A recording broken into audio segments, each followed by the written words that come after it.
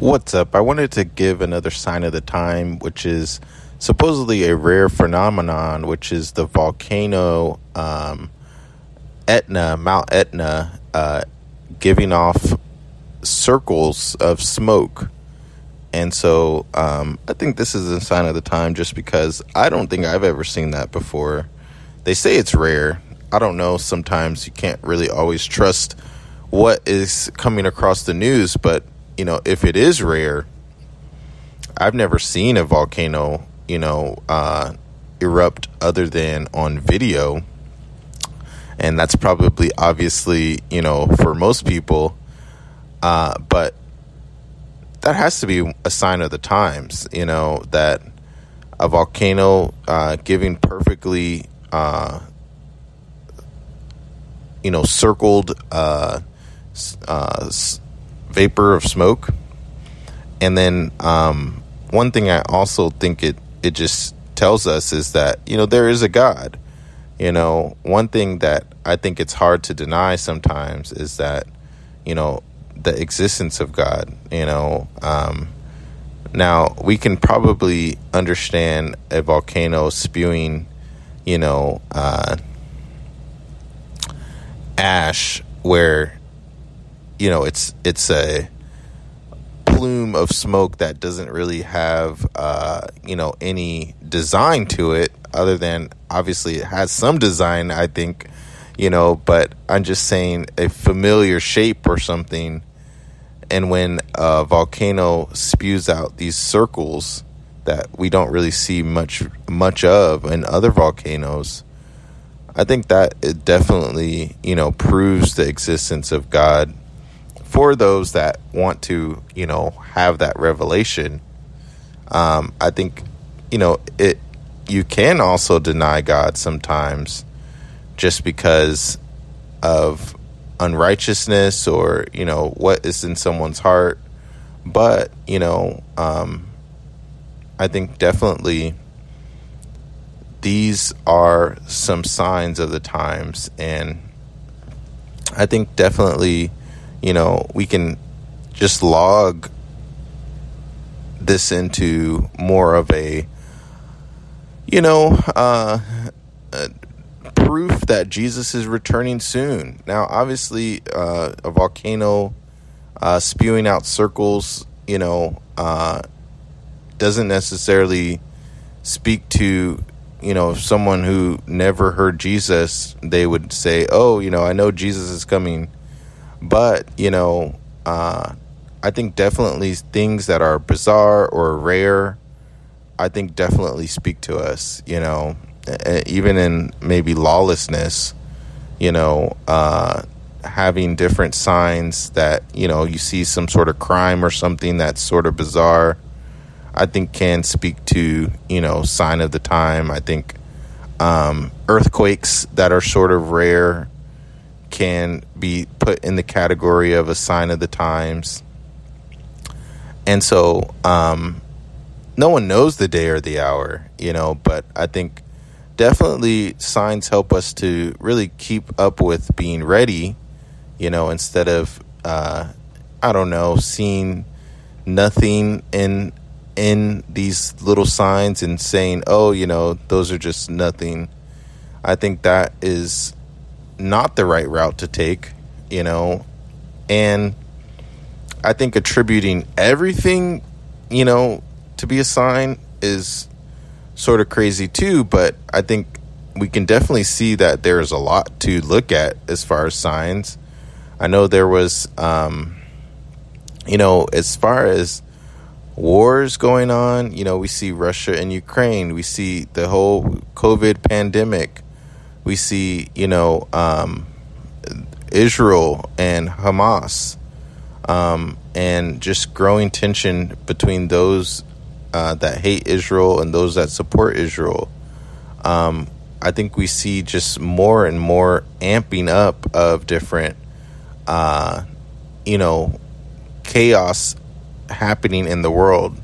Now, I think one of the things that the Mount Etna you know, sign shows is that sometimes the signs don't necessarily point to impending doom. I think some of the signs just show, wow, something is going on.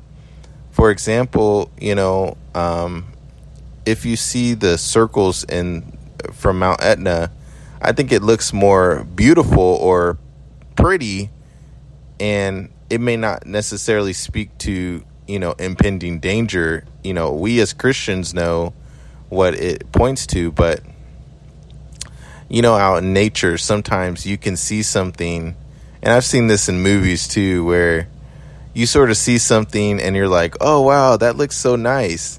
And then it ends up eating something, or, you know, it ends up, you know, not being what you thought it was. And um, I know the Venus flytrap is not always like that, though. You know, I think the Venus flytrap definitely looks like it's something that you should stay away from. But obviously, flies don't always know that, and they they're like, oh, you know, this is an attractive plant. You know, let me go to you know try to uh, suck some nectar out of it or whatever they get from it. Or maybe the flies are just a little bit daring and they're like, hey, maybe I can do it without, you know, getting eaten by this plant. But anyway, we know uh, we've heard of things that, you know, uh, sort of are dangerous and they don't look dangerous. Um, and so that I think describes just this earth too. I think, you know, everything in the earth I think looks so beautiful. And so we're like, oh, you know, this must be paradise. You know, I can do whatever I want and, you know, I can kind of settle down and just, you know, uh, not really notice God or, you know, not really notice different things. And then we find out from reading the Bible that, you know, there are actually some warnings, you know, that we should take heed to that can actually, uh, you know, determine your eternal destiny.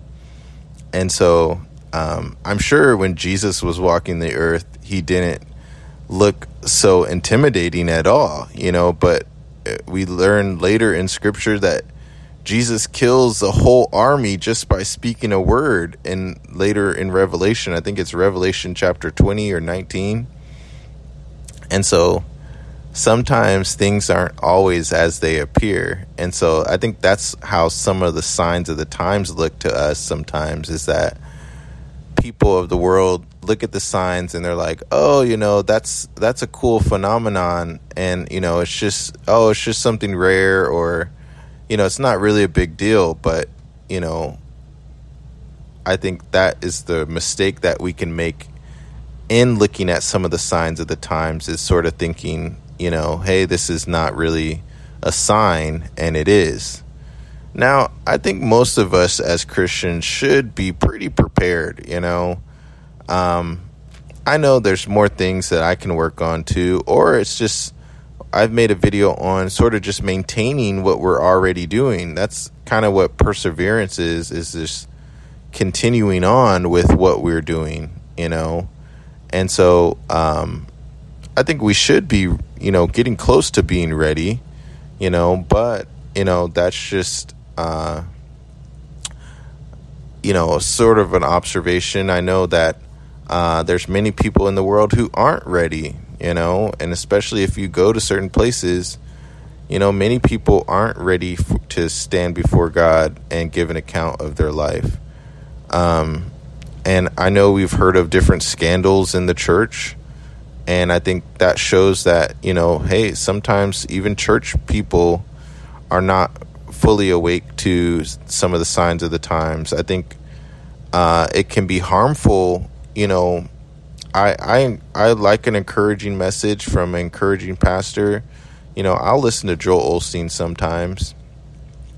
But I know it can be harmful if let's say you have a church member who goes to Joel Osteen's church and they're only hearing maybe an encouraging message and they're only hearing stuff about, you know, uh, things that don't pertain to end times or being ready I think that can be harmful if we in the church are not speaking towards the signs of the times. I know in my church, sometimes the pastor may put off the return of the Lord, and I think he's a good pastor, you know, don't get me wrong.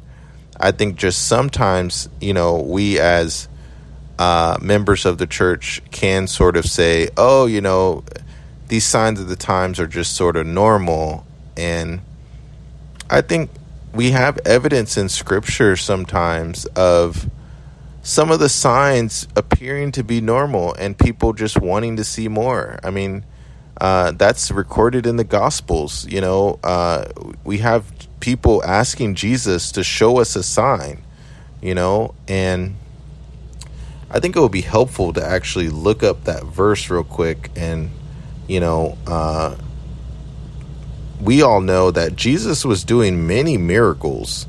And so to us, it's kind of crazy sometimes when people are asking for Jesus to show a sign when he's already doing so much. Okay, so Matthew 12 38, it says, One day some teachers of religious law and Pharisees came to Jesus and said, Teacher, we want you to show us a miraculous sign to prove your authority. That's the New Living Translation. Mark 13:4 says, "Tell us, when will all this happen? What sign will you show us that these things were about to be fulfilled?" Luke 21:7 uh, well, that one's not really one, but uh, it kind of is one. But um, John 2, verse 18 says, So the Jews answered and said to him, What sign do you show us, show to us, since you do these things.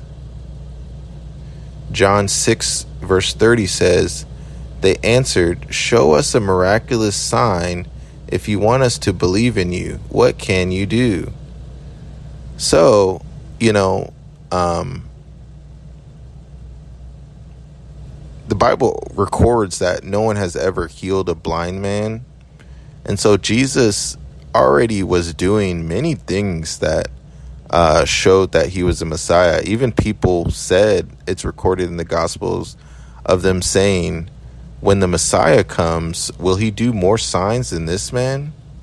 And let's look at that verse. More signs.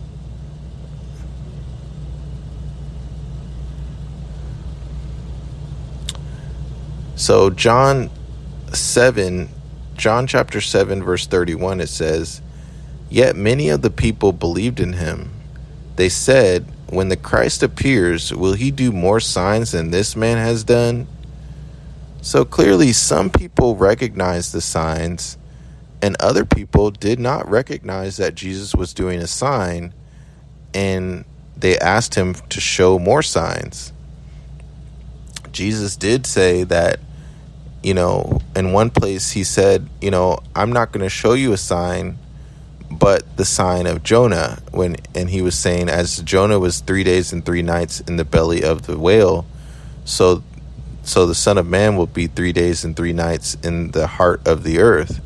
And basically he was saying that he's going to rise from the dead and that would be another sign. But I think one of the things that they had to do was be close to Jesus to be able to see the signs.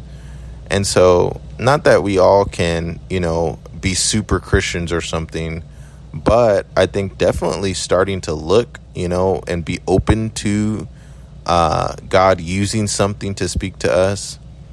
Now, for me, the solar eclipse wasn't really that hit of a home for a sign, but um, it could be happening. I mean, it could be because um, I didn't see it in my area. I live in Washington State. But for others, it was. But for me, maybe seeing, uh, I know I've posted different things that have spoken to me that, wow, I see the sign of the times. And so um, I think definitely someone's in hot water if they see nothing as a sign. But I think something should be speaking to people. And I think that's why God may have many signs in different areas in different uh, ways is because certain things may speak to someone uh, greater than another, greater than another person, and so um, check out that Mount Etna, uh, you know, news article, or uh, I didn't leave a link to the article, but uh, I'm sure if you do a Google search, you can see the Mount Etna rings. Um, and so I think that um, we still don't know the day or the hour. And I think we'll see more signs as the days go on, you know, but maybe we should start asking, you know, uh, if the end times are here, here, will there be more signs than this? And we don't want to get into that place where we're seeing signs and yet asking Jesus to do something more. Or maybe we're looking for something specific like the whole world exploding and we are in a space shuttle and we're like, oh, you know, that was a sign. Now, you know, so um maybe we're looking for something in our mind but yet don't have a particular thing that we are sort of wanting. We're just sort of asking to see more but not yet having anything specific that we want to look for. And I'm sure as I end this podcast that, you know, even if Jesus did something specific that people wanted, I'm not sure if people would always believe, you know, even if they saw something that was, you know, specifically for them. And so, anyway, thanks so much for checking this out, and I will talk to you on the next one. See ya.